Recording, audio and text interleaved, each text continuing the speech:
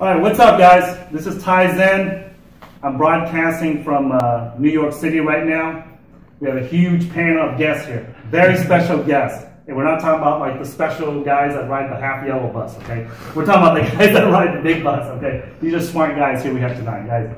So we're broadcasting here this uh, first blockchain meetup we have in New York City. We're really happy about it. We got a live audience here behind us. So we're gonna keep it private and confidential. We're not gonna put like the camera on everybody like they do on Oprah and stuff, okay?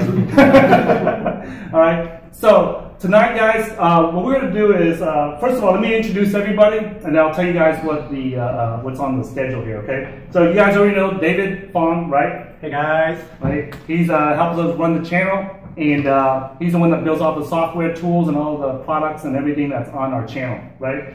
And then next to David here. we got Marcelo, right?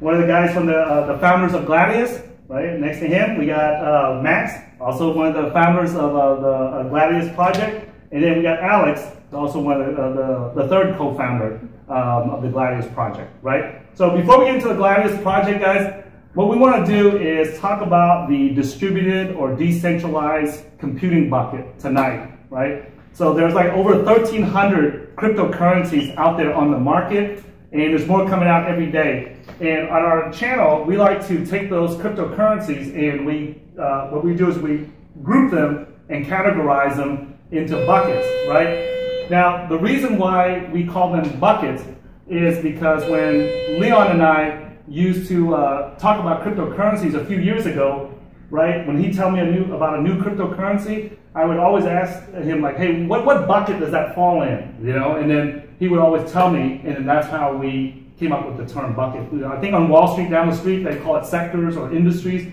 Uh, you know, on Main Street, we just call it buckets, okay? So the decentralized computing bucket include cryptocurrencies such as Filecoin, uh, such as MaidSafe, such as Storjcoin, Golem, right? Golem, Filecoin, yeah, right? So, so the, these are all the, the cryptocurrencies, and what they do is they focus on uh, renting out your uh, uh, parts of your computer that you're not using at home. So, like your hard drive, your processor, processor, right. your internet, your bandwidth, your internet. Yeah. So, right. so all, all, those things right there. And so, like Filecoin, uh, MaidSafe, Storjcoin, and uh, Siacoin, what they do is they rent out the hard uh, hard disk space that you're not using on your computer. Okay. Now the uh, Golem, they rent out. Uh, come on in, come on in. Please grab a seat. Right. Um, Golem, what Golem does is it rents out the CPU, the processor that's on your computer, and then you would get rewarded in the Golem. So each one of these projects, if you rent out your unused computer space, you get rewarded with the tokens from that project.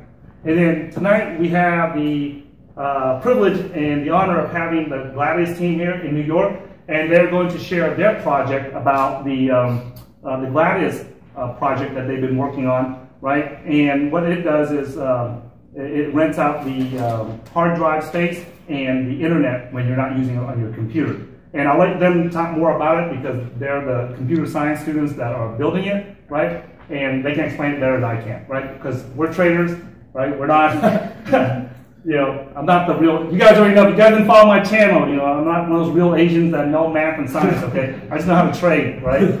And I got around some good traders that taught me, right? So I didn't figure that stuff out on my own either, okay? So let's get started here first, guys, right? Um, ride the half yellow bus, okay? We're talking about the guys that ride the big bus, okay? These are smart guys here we have tonight, guys. So we're broadcasting here at this uh, first blockchain meetup we have in New York City. We're really happy about it. We got a live audience here behind us. So we're gonna keep it private and confidential. We're not gonna put like the camera on everybody like they do on Oprah and stuff, okay?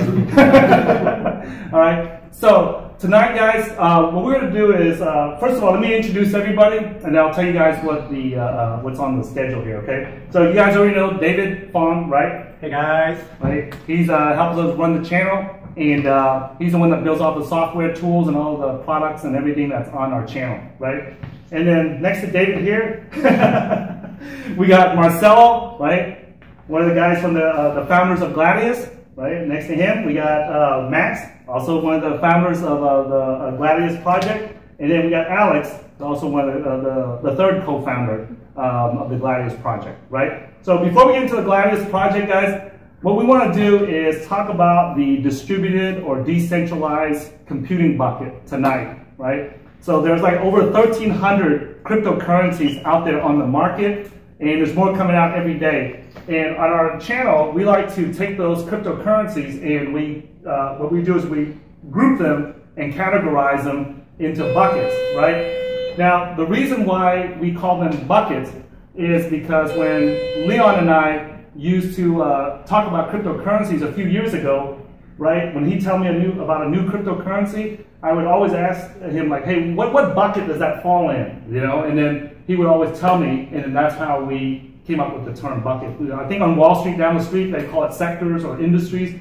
Uh, you know, on Main Street, we just call it buckets. Okay, so the decentralized computing bucket include cryptocurrencies such as Filecoin, uh, such as MaidSafe, such as Storjcoin, Golem, and Golem. Filecoin. Yeah. Right? So, so the, these are all the, the cryptocurrencies, and what they do is they focus on uh, renting out your uh, uh, parts of your computer that you're not using at home. So, like your hard drive, your Processor, processor, right. your Your internet. bandwidth, your internet. Yeah. So, Right. so all, all those things right there. And so, like Filecoin, uh, Storjcoin, and uh, Siacoin, what they do is they rent out the hard uh, hard disk space that you're not using on your computer.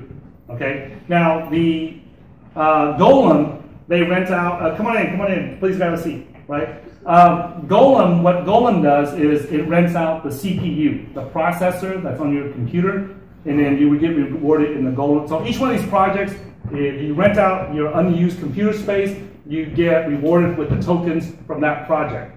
And then tonight we have the uh, privilege.